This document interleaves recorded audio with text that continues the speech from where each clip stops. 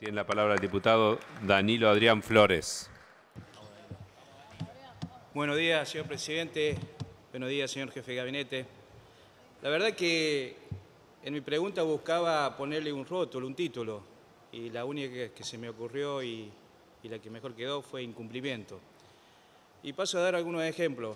Eh, el Gobierno Nacional fijó pautas inflacionarias que no serán alcanzadas. De pronto se pasó de un discurso optimista a una situación de ajustes y sube de tarifas, que puso en serio aprieto a casi todos los sectores productivos a nivel nacional y también de, de mi provincia. El desarrollo tan esperado y anunciado deberá esperar, y con ello la expectativa del acelerado mientras la bicicleta financiera ha vuelto a hacer estrago en esta economía. El valor de nuestra moneda se ha despreciado notablemente en este último tramo debido a la inflación y, bueno, como todos saben, por la escalada del dólar, que todo lo cual importa una pérdida de poder adquisitivo importante del trabajador. Y de allí vuelve a surgir como fuerza la, la palabra incumplimiento. Y esto lo reflejo, señor jefe de gabinete, especialmente para mi provincia.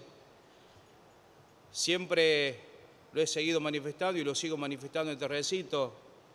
Hace 30 años le quitaron un punto porcentual de total coparticipable. Y de los 5.600 millones de pesos que les correspondería históricamente, iniciamos el año 2018 como primera vez en la historia de este recinto con cero pesos de asignación presupuestaria.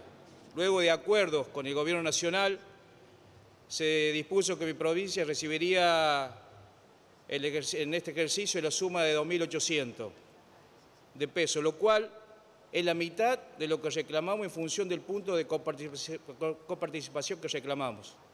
Por eso, eso no es todo, señor jefe de gabinete. La verdad que en lo que va de esta época del año, estamos recibiendo la mitad de lo acordado y lo que se puso en el, en el presupuesto 2018. Ni qué hablar de la obra pública. La obra pública en mi provincia está siendo cero, porque la componen 18 municipios, no solamente uno, y la obra pública por ahí que se puede ejecutar la está haciendo nada más que uno, a donde los, demás 17 también necesitan de esa obra pública.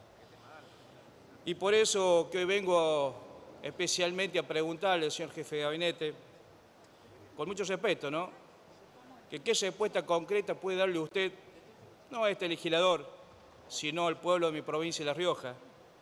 Especialmente plantearle que esta situación en las arcas, no solamente del gobierno provincial, sino que eso repercute también en la gente de la provincia, ¿qué mensaje de optimismo usted le puede dar cuando realmente en la Nación estamos sintiendo y teniendo el mensaje de más ajuste? Diputado. Más desocupación. Ya termino, presidente más resignación y más postergación.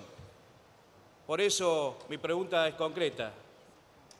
Con el corazón le quiero preguntar por qué tanto enseñamiento con esta provincia cuando realmente tenemos los mismos derechos y estamos reclamando nada más que lo que nos corresponde. Nada más, señor presidente.